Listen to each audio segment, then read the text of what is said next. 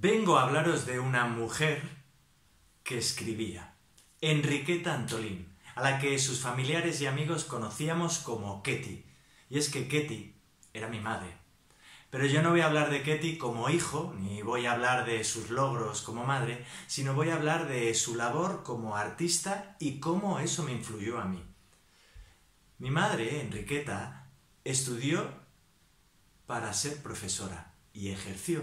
Y mientras daba clases a los niños allá por los 60 en Madrid, estudió la carrera de periodismo y consiguió dedicarse a ello, a escribir en periódicos y revistas, en Diario 16, en Cambio 16, en El País, en El, Sol, y no publicó ficción hasta que tenía casi 50 años. Cuando mi madre escribía, cuando escribía ficción, se encerraba en su cuarto y el mundo desaparecía para ella. Ya se podía quemar el arroz que ella no se enteraba. Bueno, tampoco era grave porque el que cocinaba el arroz era mi padre Andrés. Ella tenía una relación con la creación casi mística. Se, se, se fundía en sus papeles y podía desaparecer durante horas.